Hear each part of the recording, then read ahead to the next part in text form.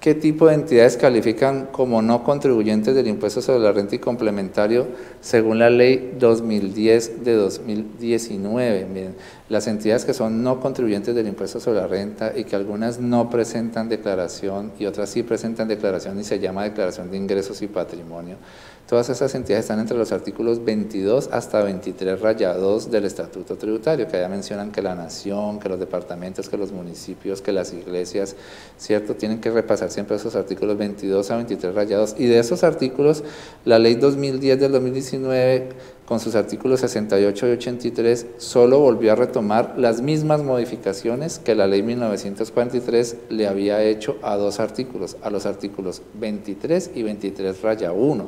Entonces, si yo abro el 23 del Estatuto Tributario en este documento y vuelve y juega, me toca repetir, porque esta pregunta la, la, la convierten en un video independiente. Este documento de Word que voy a mostrar acá, lo pueden descargar en esta parte del portal donde dice comparativo de normas afectadas con la Ley de Crecimiento Económico 2010 de diciembre del 2019. Entonces voy a buscar el artículo 23 del, del Estatuto Tributario, ¿sí? que es uno de los artículos que contienen listados de entidades no contribuyentes del impuesto de renta. Entonces, perdón, el 22, el 22 entonces, esta primera columna es la versión hasta el cierre del 2018, esta es la versión que existió durante el 2019 y esta es la nueva versión para año grabable 2020 después de los cambios de la ley 2010. Entonces, el ajuste es muy mínimo. Aquí retoman la misma versión que tenía la norma hasta el cierre del 2019, la vuelven a retomar igualita, ¿sí?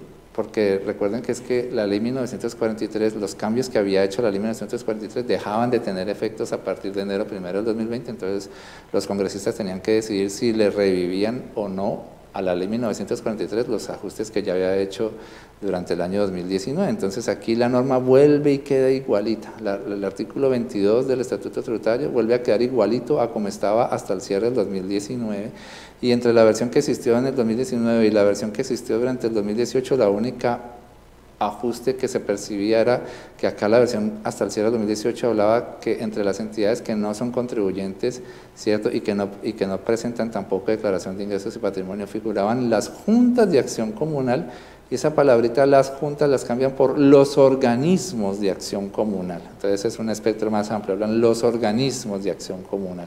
Y esa misma instrucción queda otra vez repetida dentro de la ley 2010, entonces para el 2020 no hay cambio en relación con el universo de los no contribuyentes de ese artículo 22. Para el artículo 23 raya 1 noten lo que pasa también.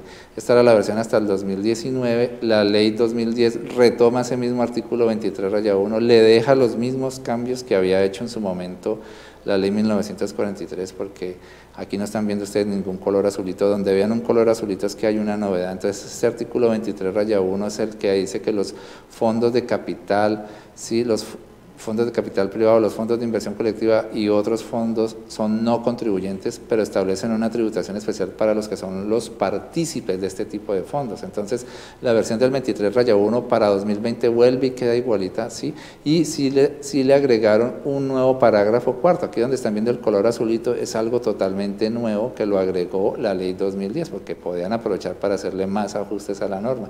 Entonces, este parágrafo cuarto, ¿sí? Habla eh, sobre una instrucción especial en relación con los que son los beneficiarios de estos fondos, listo, y la manera como hay que reportárselos a la DIAN. Entonces aquí sí hay un, ajuste para este artículo 23 ya 1, pero es una instrucción especial sobre la, la, manera de identificar a los beneficiarios de estos fondos, listo, pero el universo como tal de las entidades no contribuyentes para un 2020 va a seguir siendo entonces igual a la que tuvimos hasta el 2019.